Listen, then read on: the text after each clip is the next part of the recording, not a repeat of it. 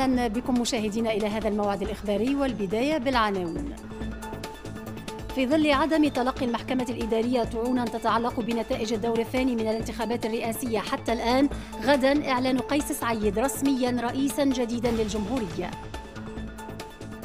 عدد من مرضى سرطان الثدي يتذمرون من تأخر المواعيد الطبية جراء نقص الإطار الطبي بالمستشفى الجهوي بالكف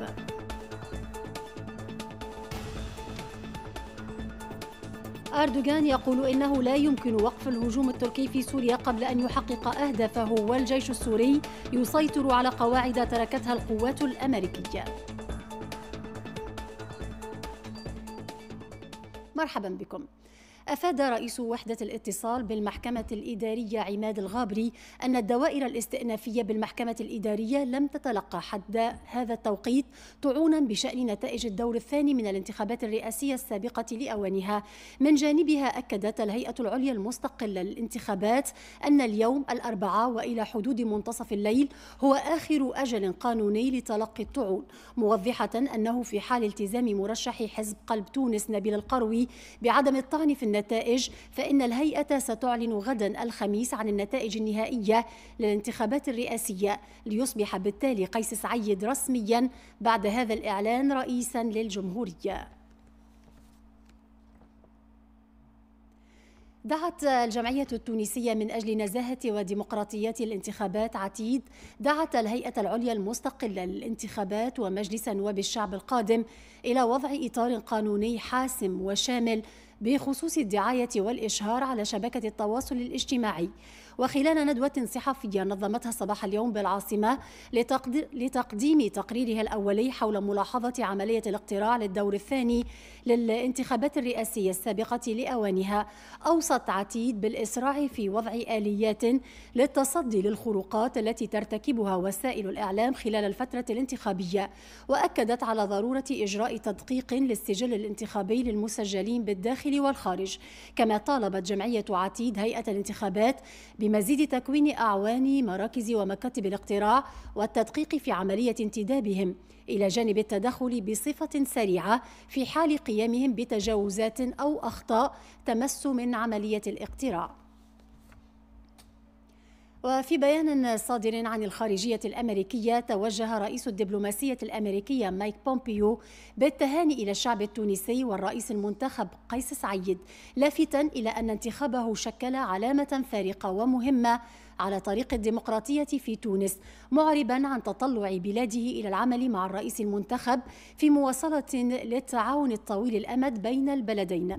كما تقدمت الحكومة الإسبانية اليوم بتهانيها للفائز بالانتخابات الرئاسية في دورها الثاني قيس سعيد مشيرة في بلاغ لها أن إقبال الشعب التونسي على هذه الانتخابات ومن قبلها الانتخابات التشريعية أعطى مثالا جديدا عن السلوك المدني والديمقراطي الذي به التونسيون طيلة فترة الانتخابات منوهة بالدور المهم الذي لعبته الهيئة العليا المستقلة للانتخابات وتنظيمها الجيد للانتخابات.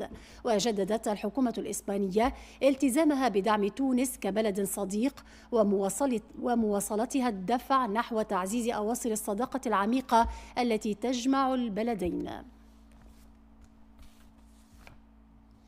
إلى مشغل صحي انتظم بالمستشفى الجهوي بالكاف يوم مفتوح للتقصي المبكر حول سرطان الثدي. تطوع خلاله الإطار الطبي وشبه الطبي لتقديم خدمات لفائدة عدد من النساء في إطار تظاهرة شهر أكتوبر الوردي.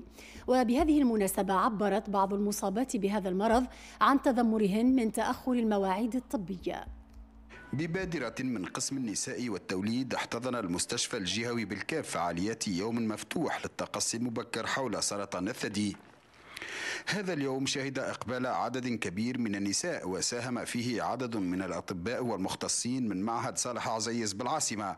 تولوا بالمناسبة تقديم فحوصات ونصائح للوقاية من هذا المرض. نحن قابلات مستشفى الجهوي بالكيف بالتحديد قسم التوليد بادر منا نحن متطوعات للعمل هذا الاحتفال بشهر أكتوبر الوردي للتقصي على سرطان الثدي خاطر النسبة ولت مهولة كبيرة كبيرة. كبيرة 40 امرأة كل يوم بنسبة 15% سنويا. حضور ثلة من أطباء الأورام صالح عزايز.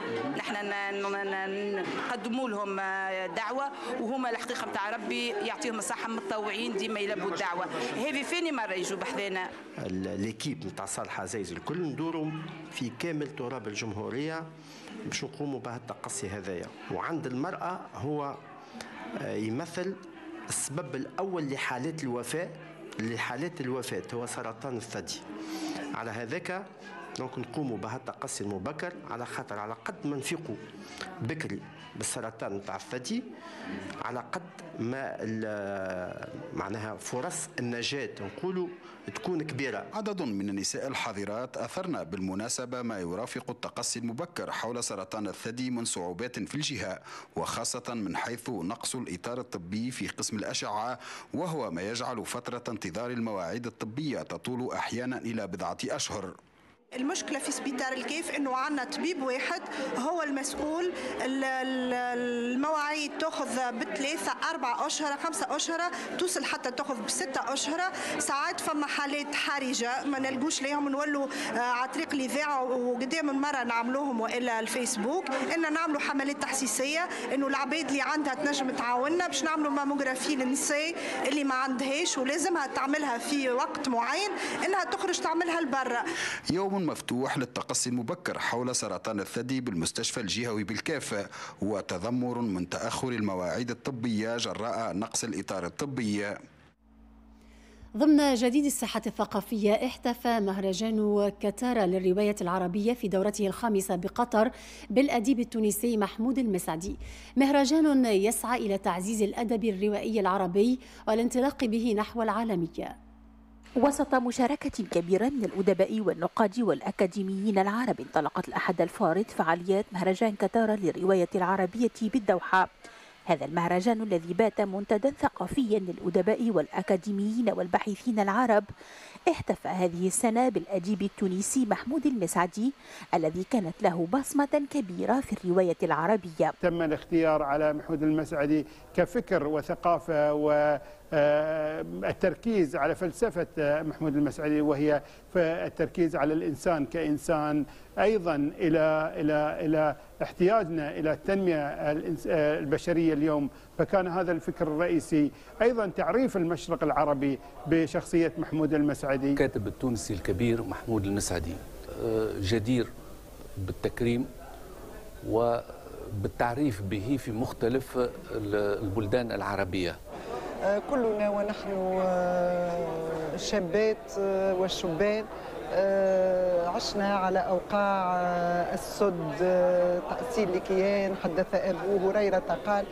والشخصية متاع محمود المسعدي هي تعديت حدود الوطن التونسي لتشمل حدود الوطن العربي. ندوات وأنشطة ومعارض وأفلام وثائقية أثثت فعاليات التظاهرة التي تم خلالها أيضا توقيع إصدارات العام الماضي للجائزة التي انقسمت إلى فئات مختلفة. فئة الروايات الغير منشورة كانت 999 مشاركة الروايات المنشورة 612 مشاركة. الدراسات النقدية والمتخصصة في الرواية كانت 77 آه، مشاركة.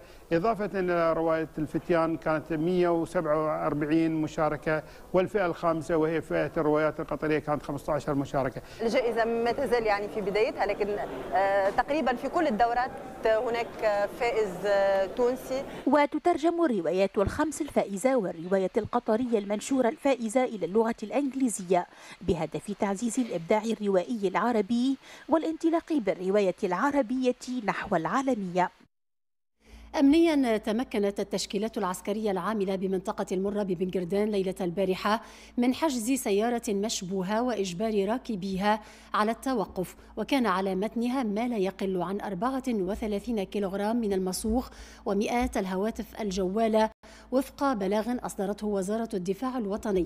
وأوضحت الوزارة أن الوحدات العسكرية قامت في مرحلة أولى بإطلاق أعيرة نارية تحذيرية ثم في مرحلة ثانية في اتجاه عجلات السيارة مما أسفر عن إصابة راكبي السيارة مضيفة أن حالة المصابين لا تكتسي خطورة كبيرة وتم نقلهما إلى المستشفى الجهوي ببنجردان لتلقي الإسعافات الأولية.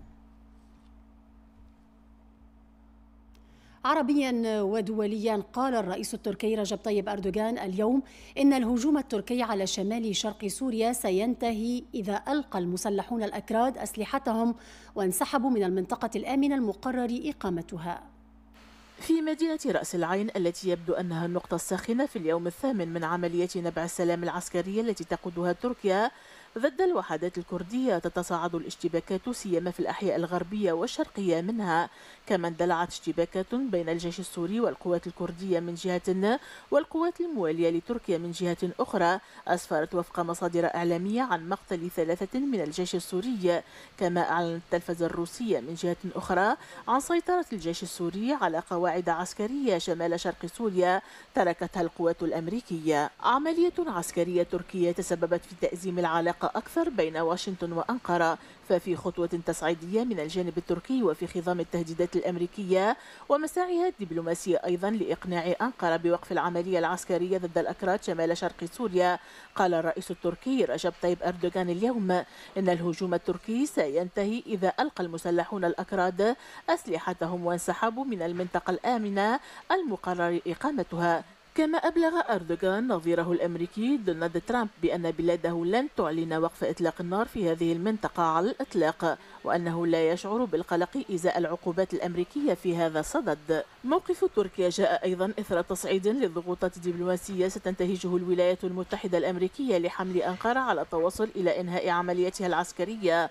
وصرح مسؤول في الإدارة الأمريكية بأن بلاده تهدد أيضا بفرض مزيد من العقوبات في حال لم يتم التوصل إلى حل للأزمة. في وقت يستعد فيه نائب الرئيس الأمريكي ووزير الخارجية إلى التوجه إلى تركيا للتوسط في وقف المعارك. وفي خضم لقاءات أمريكية تركية جارية وأخرى منتظرة قالت روسيا إنه ينبغي أن تحدد القوات السورية والتركية كيفية التعاون في شمال سوريا بناء على اتفاق أذنا وعبرت موسكو عن استعدادها لتقديم المساعدة في ذلك. فيما رأى الكريملين أن العملية العسكرية التركية يجب أن لا تضر بالعملية السياسية في سوريا لكنه قال في المقابل أن موسكو تحترم في الوقت نفسها حق تركيا في الدفاع عن النفس. في جديد الملف اليمني من المتوقع أن تعلن الحكومة اليمنية المدعومة من السعودية والانفصاليين الجنوبيين غدا التوصل لاتفاق بشأن إنهاء النزاع على السلطة على السلطة في مدينة عدن الساحلية جنوب البلاد والذي أحدث انشقاقا داخل التحالف العربي الذي يحارب الحوثيين وفق مسؤولين يمنيين. أكدوا أيضا أن اتفاق إنهاء الأزمة في عدن سيتم توقيعه غدا في الرياض وتستضيف السعودية محادثة محادثات غير مباشرة بين الجانبين لإعادة بناء التحالف الذي يقاتل الحوثيين المتحالفين مع إيران. وفي أفغانستان قتل ثلاثة أشخاص على الأقل وأصيب 27 آخرون في هجوم انتحاري نفذته حركة طالبان بواسطة شاحنة كبيرة قرب مقر للشرطة شرق البلاد. وأوضح المتحدث باسم حاكم الإقليم أن عدد الضحايا مرشح للارتفاع مع تواصل عمليات البحث وسط حطام المباني التي دمرتها أو دمرها الانفجار. قبل ساعات من القمة الأوروبية المرتقبة تجرى في بروكسل محادثات حاسمة حول بريكسيت بين الدول الأعضاء في هذا التجمع الأوروبي في مسعى للتوصل إلى اتفاق بين الاتحاد الأوروبي وبريطانيا. اتفاق ينقسم القادة الأوروبيون بشأن إمكانية التوصل إليها. في العاصمة البلجيكية بروكسل استؤنفت اليوم محادثات حاسمة حول بريكسيت بعد سلسلة من المفاوضات المطولة تواصلت إلى منتصف ليلة البارحة في محاولة للتوصل إلى اتفاق بين الاتحاد الأوروبي وبريطانيا. اعتبر المفاوضون أنه ممكن قبل القمة الأوروبية المزمع عقدها غدا. وفيما اعتبر وزير الخارجية الفرنسي جان إيف لودريان أن الخروج من هذا المأزق ممكن وأن تواصل المفاوضات أمر إيجابي وبدا البريطانيون أكثر إيجابية منذ بدء المحادثات حول خطة رئيس الوزراء البريطاني بوريس جونسون لتفادي خروج دون اتفاق. اتسمت نبرة المسؤولين البلجيكيين بالحذر بشأن فرص الخروج باتفاق قبل القمة.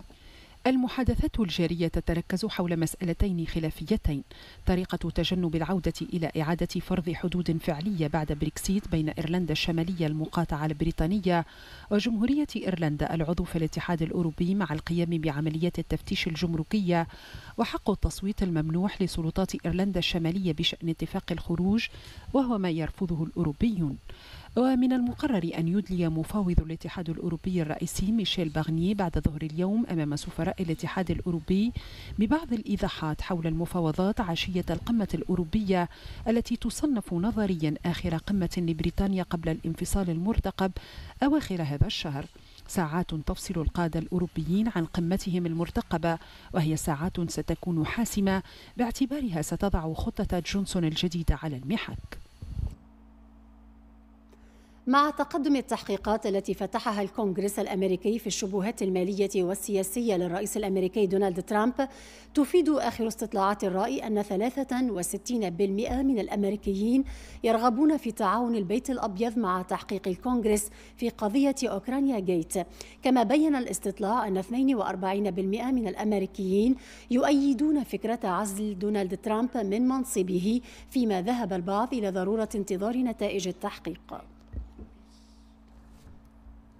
في أخبار الرياضة سيكون مهاجم المنتخب طه ياسين الخنيسي غائبا عن المواجهة المرتقبة التي ستجمع المنتخب الوطني التونسي بنظيره الليبي الأحد القادم في إياب الدور الثالث على درب التأهل إلى كأس أمم إفريقيا للاعبين المحليين.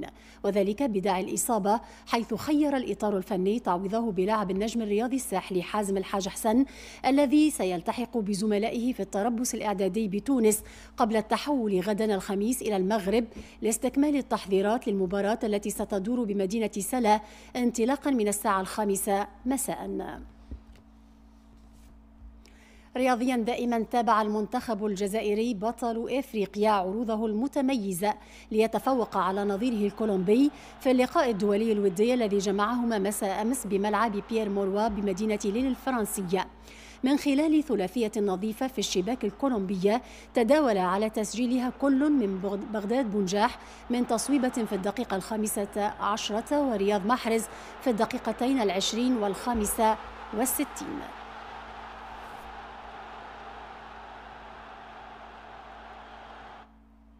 قدم بوريسلاف ميهايلوف رئيس الاتحاد البلغاري لكرة القدم استقالته من منصبه بدعوة من رئيس الوزراء الذي دعاه إلى التنحي عقب إساءات عنصرية أطلقها جما... أطلقتها جماهير بلغارية استهدفت لاعبي منتخب إنجلترا السود خلال اللقاء الذي جمع بلغاريا بإنجلترا أول أمس الاثنين ضمن تصفيات كأس أمم أوروبا والتي توقفت مرتين بسبب استخدام أعضاء من الأولتراس تحديات تحيات ممنوعة هاتفين بعبارات عنصرية. رافعين شعارات لا للاحترام.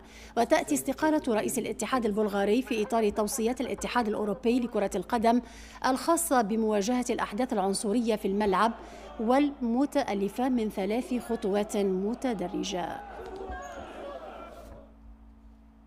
نتطرق الآن مشاهدينا إلى حدث بيئي فريد من نوعه في تونس وشمال إفريقيا حيث تمت لأول مرة عملية تفقيس السلحفاة البحرية الخضراء بشاطئ رجيش من ولاية المهدية هذه الفصيلة النادرة والمهددة بالانقراض عملت جمعية الأزرق الكبير على تعشيشها هناك. هي أجواء عملية التفقيس لسلحفاة بحرية خضراء بشاطئ رجيش بالمهدية. عملية تشهدها تونس لأول مرة لهذه الفصيلة النادرة من السلاحف بعد أن عثر عليها شاب يقطن بمدينة رجيش منذ أوت الفارط. تولى بعد ذلك جمعية أزرقنا الكبير مراحل تعشيش هذا النوع من السلاحف.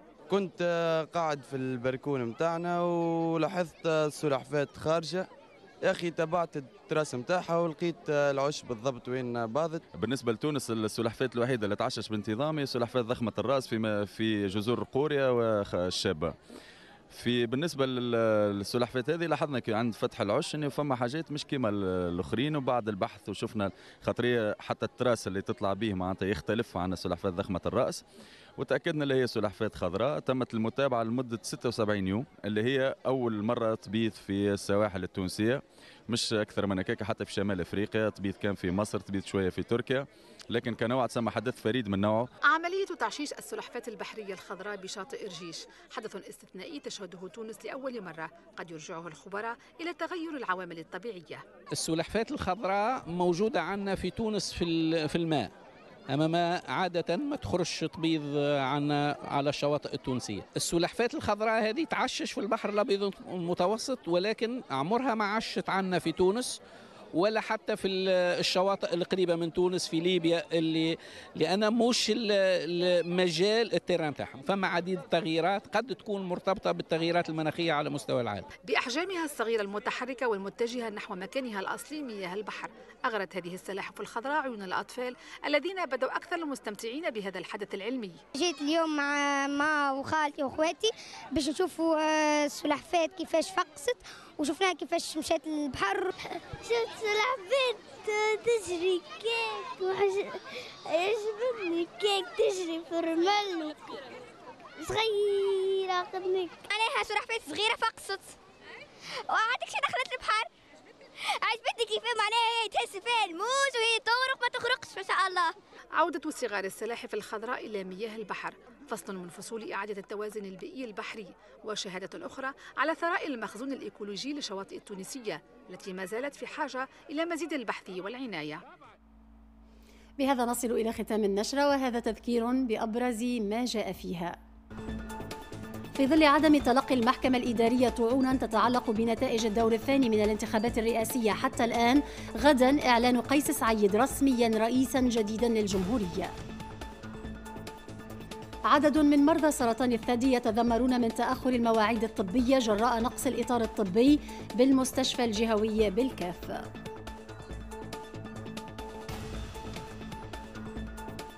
أردوغان يقول إنه لا يمكن وقف الهجوم التركي في سوريا قبل أن يحقق أهدافه والجيش السوري يسيطر على قواعد تركتها القوات الأمريكية. وبإمكانكم مشاهدينا متابعة هذه النشرة والمزيد من الأخبار على بوابة التلفزة التونسية. شكرا على المتابعة إلى اللقاء.